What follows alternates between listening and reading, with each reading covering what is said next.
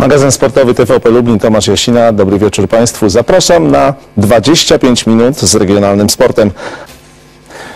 Piłkarze Motoru Lublin na koniec jesiennych zmagań pojechali do Brzeska. Zdecydowany lider drugoligowej grupy wschodniej okazał się zbyt mocnym rywalem. Motor przegrał z Okocimskim 0 do 2. tylko 10 minut, aby udowodnić swoją wyższość. Nie najlepszą postawę Mateusza Oszusta wykorzystał Iwan Litwinuk. Bramkarz motoru zrehabilitował się tuż przed przerwą, broniąc strzał z bliskiej odległości Radosława Jacka. Większych szans nie miał natomiast w 60 minucie. Iwan Dyki zagrał piłkę ręką w polu karnym, a pewnym egzekutorem jedenastki okazał się Mateusz Wawryka. I choć motor miał też swoje okazje do strzelenia gola, wynik w tym meczu już się nie zmienił.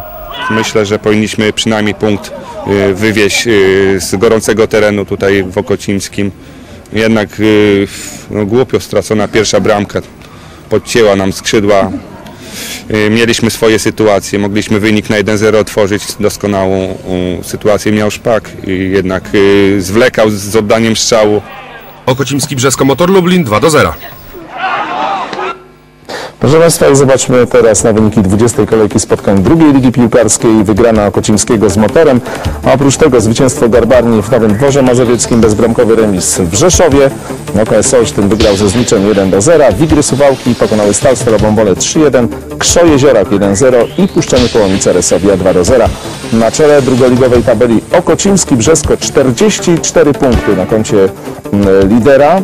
36 punktów ma OKS Olsztyn. Przypomnę, że do pierwszej ligi awansują dwa zespoły. Motor Lublin na miejscu trzecim, Wisła Puławy niestety na e, ostatnim, oprócz Wisły na dole Garbarnia, Kraków i Stal Rzeszów. Sport Flash w środę i sobotę o 22.05, magazyn sportowy w niedzielę o 22.00 to nasze propozycje e, antenowe, ale zapraszam także na stronę internetową TVP Lublin, na stronę od 201 do 218 lubelskiej telegazety. Tam dużo sportu. A dziś dziękuję Państwu za uwagę, życzę spokojnej nocy, dobranoc.